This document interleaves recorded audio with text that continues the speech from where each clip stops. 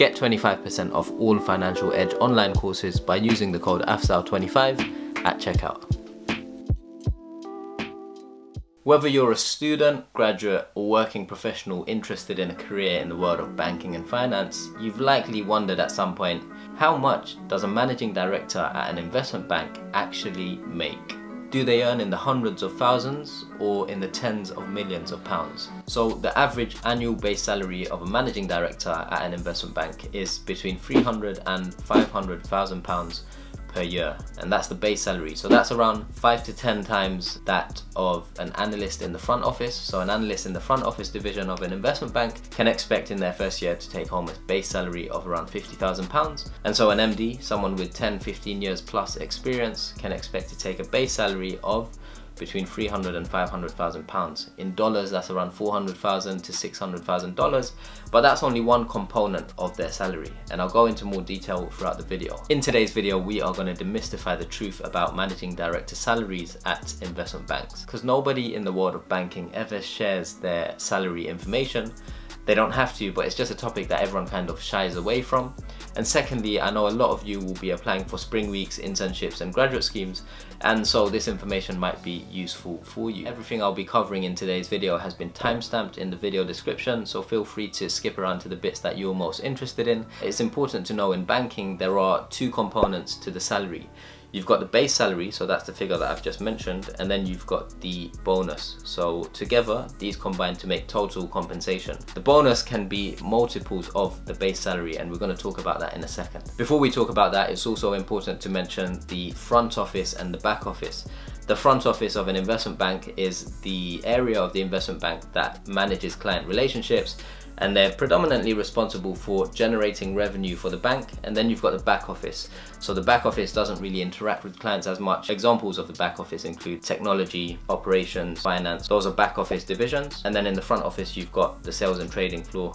You've got asset management. You've got private banking. You've got the investment banking division. These areas go out and generate money and these areas are responsible for managing the risks within that investment bank managing the technology and everything at the back end. And so as a result the front front office divisions tend to get higher salaries and this reflects into bonuses. This is where it gets a bit more messy and harder to pinpoint because bonuses can range from zero pounds or dollars to multiples of the individual's base salary. So let's say you've got a trader who's a managing director, they're a star trader or a star banker who is executing deals and trades and making the bank hundreds of millions of pounds. This individual is likely to get a very big bonus at the end of the year because they've contributed in very good performance to the bottom line of that investment bank. However, if you've got a trader or an investment banker who has had a really, really bad year and their division or their team or their particular sector has seen a decline and no profits whatsoever, chances are they might get fired or they might get a very, very low bonus if they're lucky. Similarly, you've got the back office. These individuals don't have the opportunity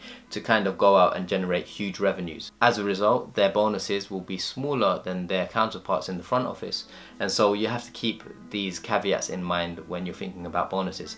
And for that reason, the range of bonuses that a managing director earns at an investment bank really does vary quite hugely. Also, it's important to mention that the bonus is determined by lots of different factors. So it could be the market environment. A determining factor is the division, so back office or front office. Determining factor is how well your team performed. If you're performing to a high standard, you're going to get compensated accordingly. If you're not performing to a high standard, it will be a smaller bonus and your base salary will grow less compared to your counterparts who are performing better than you. So there's lots of factors that come into play, but it's easier to pinpoint the base salary as opposed to the bonus component of your total compensation. Okay, equity. This is important to consider. As a managing director in an investment bank, the more senior you get, the more time you spend at the bank, more and more of your salary gets paid not in cash, but in equity. So what this means is, and it's a mechanism for the bank to kind of tie you in because you are senior, you're earning lots of money, but the bank doesn't want to lose you, right? And so let's say, for example, you're a managing director and you earn a salary, base salary and bonus together of one million pounds for argument's sake. And then 50% of that salary, for example, is paid as equity. So you get 500k cash, great, into your pocket for the year. And then the other 50%, 500k, that gets paid in equity over a period of four or five years. You only unlock that equity, so that extra 500k in equity, you unlock it if you stay with the bank for another three, four, five years, so on and so forth. And the reason for that is so you don't take the one million pounds and then quit or go to a competitor the bank has to lock you in. So it gives you half of your money and the rest in equity in order, it's a catch 22, right? It says if you leave before you earn all this equity, you don't get the equity. So you're forfeiting the equity. You can only earn that equity if you do another four or five or so years at the firm. And so that's kind of the lockup that you might hear. The more senior you get, the harder it is to leave unless you sacrifice a lot of your salary and equity. So that's something to be aware of and that's the equity component of your salary. This only typically comes into play for senior individuals at the bank. You don't really get any equity or much as an analyst or an associate relative to the amount that the managing directors and other directors earn. All right, why do managing directors earn so much? In the grand scheme of things, yes, £500,000 is a lot of money, but why do they get paid that much? When you think of it, the transactions that the bank is participating in, so the deals that the bank is executing or the trades that the traders are taking, for example, these are in the multi-million figures anyways. And so the real winner is the investment bank. They are generating profits in the billions every single quarter. And so to pay a managing director 500,000 pounds or a few million pounds is actually not huge in the grand scheme of things compared to the profits that the bank is making. But even then, the bank locks them in through that equity component in order to avoid losing a very good managing director to a competitor or to a different industry or organization. So downsides, yes, the money is good and that's great, but there are downsides to being a managing director at an investment bank. And the most common one is obviously work-life balance. You are expected to work throughout the day. You're checking your phone and your emails when you leave the office. You don't really get much of a work-life balance, although some managing directors are better than others.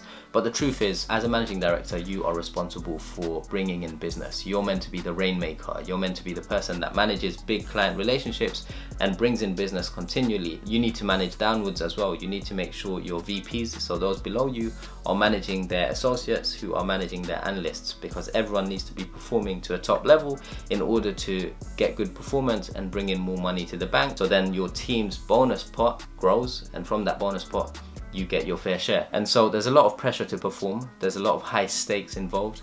There's a lot of risk. If you don't perform well one year or if your team suffers, then chances are you might get fired or you might get no bonus. And when you've been earning bonuses in excess of £500,000 or a million pounds every year, and then you get no bonus, that's gonna be a big dent in your wallet and your personal confidence in your career. And so there's a lot at stake, there's a lot at risk, but obviously the positives are you earn a big salary, you earn equity in the company, which are all good. Also, it's important to note that banking is not a get rich quick scheme. You don't just, you know, join and then within five years you're earning a million pounds it takes a very long time and those that make managing director are truly interested and passionate about the industry and the work that they do. You can't just go in and expect to become extremely wealthy by not really being passionate about the work that you do. And so it's a very, very long game and it's not for everyone, that's the truth. If you're lucky, you make managing director in 10 years, but most people do it in 15 plus. Actually, most people don't make managing director. They get to VP and they're happy there.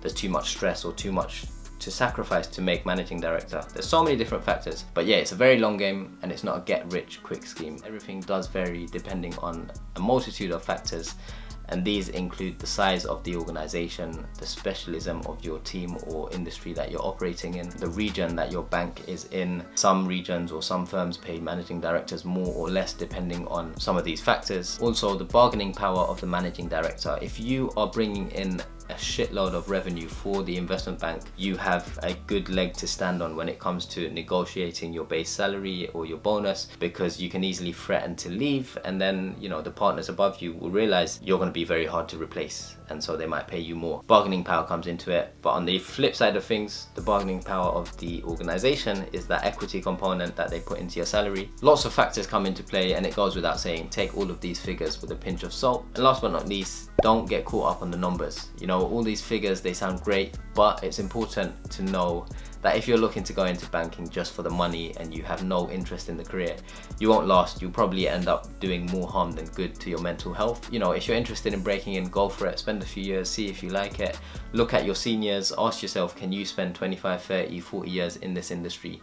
If you can, great. If you can't, be honest with yourself, consider alternatives. Hopefully this video has been informative and I will see you in the next one. Done.